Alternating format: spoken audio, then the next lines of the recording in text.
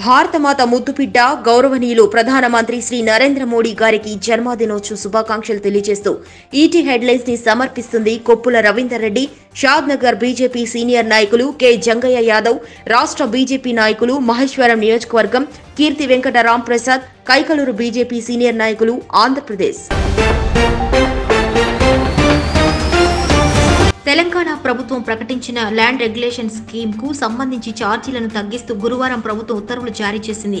LRS ఛార్జీలను registration నాటి market విలువ ఆధారంగా వసూలు చేసేట్టుగా వెంటనే ఉత్తర్వులు జారీ చేస్తామని మున్సిపల్ శాఖ మంత్రి కేటీఆర్ అసెంబ్లీలో ప్రకటించిన విషయం విదితమే సుప్రీంకోర్టులో రిలయన్స్ కమ్యూనికేషన్స్ చైర్మన్ అనిల్ అంబానీకి కొంత ఊరట లభించింది. అనిల్ అంబానీపై వ్యక్తిగత దివాలా కోర్టు కింద చర్యలు తీసుకునేందుకు ఆయనపై ఎస్బీఐ దాఖలు చేసిన దివాలా పిటిషన్పై గతంలో ఢిల్లీ హైకోర్టు స్టే విధించింది. ఈ స్టేను ఎత్తివేయాలని కోరుతూ ఎస్బీఐ దాఖలు చేసిన ఈ పిటిషన్ను సుప్రీంకోర్టు గురువారం తిరస్కరించింది.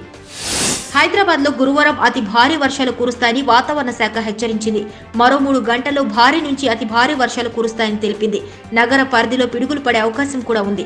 అత్యవసరమైతే తప్ప బయటకు రావద్దని జీహెచ్ఎంసీ కమిషనర్ అన్నారు. అత్యవసర హెల్ప్ లైన్ను కూడా ఏర్పాటు చేశారు. అత్యవసర helpline number zero four zero two nine double five double five double zero. Zero four zero two double one triple one double one. పార్లమెంటును కూడా రాజకీయ పబ్బం గడుపుకునేందుకు Vijayasai Reddy ప్రయత్నించారని TDP MP Kanakamedala Ravindra Kumar fire అయ్యారు.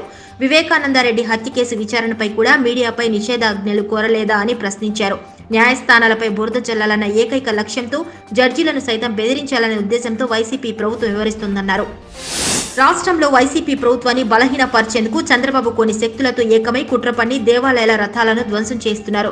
పుష్కరాల్లో ఇరవై తొమ్మిది మంది చావుకు కారకుడయ్యారు. సింహాచలం భూములను అన్యక్రాంతం చేశారు.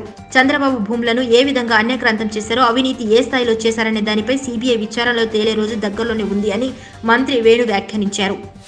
ఆంధ్రప్రదేశ్లో న్యాయ వ్యవస్థ అసాధారణ రీతిలో ప్రభుత్వం పైన మీడియా సోషల్ మీడియా పత్రికా స్వేచ్ఛ వాక్ స్వాతంత్రం పైన ఆంక్షలు విధిస్తుందని వైసీపీ ఎంపీ విజయసాయిరెడ్డి రాజ్యసభలో ప్రస్తావించారు. అమరావతి భూముల కుంభకోణానికి సంబంధించిన కేసు విషయంలో ఆంధ్రప్రదేశ్ హైకోర్టు వెల్లడించిన తాత్కాలిక ఆదేశాలను ఆయన ఈ సందర్భంగా ప్రస్తావించారు.